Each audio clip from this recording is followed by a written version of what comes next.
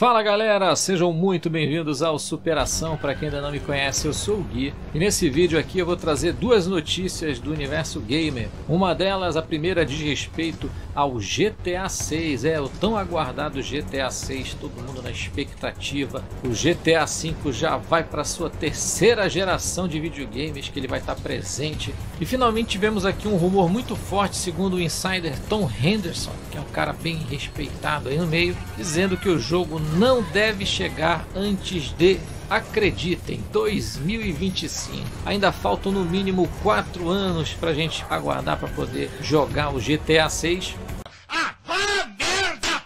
Pelo andar da carruagem, que a gente não tem nem fumaça do GTA 6 de concreto referente ao seu desenvolvimento, de fato, próximo é que não está. Então, pode ser que essa de fato seja aí uma data razoável, não é a que eu queria, nem que a maioria com certeza queria ouvir, mas vamos ter que aguardar bastante ainda do GTA 6. E o rumor da conta também que a ambientação vai ser uma versão mais atual de Vice City Informação esta também do insider Tom Henderson, e como eu falei, ele é um insider conceituado no mercado. Para quem acompanha aqui o Superação sabe que normalmente eu não trago rumores, mas nesse caso aqui, se tratando de GTA 6 e sendo o próprio Tom Henderson falando, de repente pode ter um fundo de verdade por trás disso aí. Vamos aguardar os posicionamentos aí da Rockstar Games, porque não deve acontecer tão cedo como eu falei. E a outra notícia é nada mais, nada menos que a informação que um remaster de Soul River pode estar em produção e que o anúncio aconteceria ainda esse ano de 2021 durante um grande evento.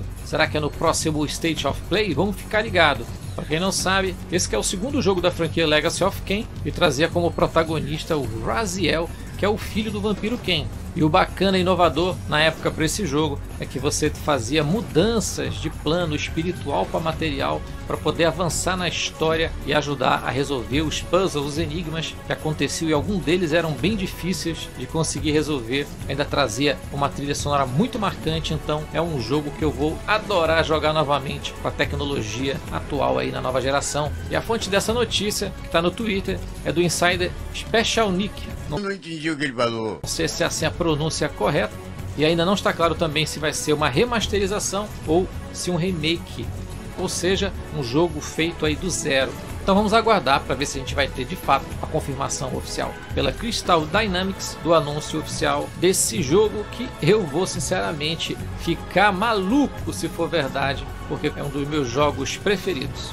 E para vocês aí, o que, que, vocês acharam da informação do GTA 6 só lá para 2025 e sobre esse possível aí remaster remake do Soul River? Deixa nos comentários, queria ouvir vocês também. No mais, galera, agradecendo para quem puder deixar aquele like bacana. Se você é novo por aqui, esse é um canal que eu trago notícias, dicas e gameplays, então fica o meu convite para você fazer a sua inscrição. E no mais, eu deixo aquele meu desejo de saúde e paz para todo mundo. Um forte abraço, muitos games, é claro, até o próximo vídeo live. Valeu!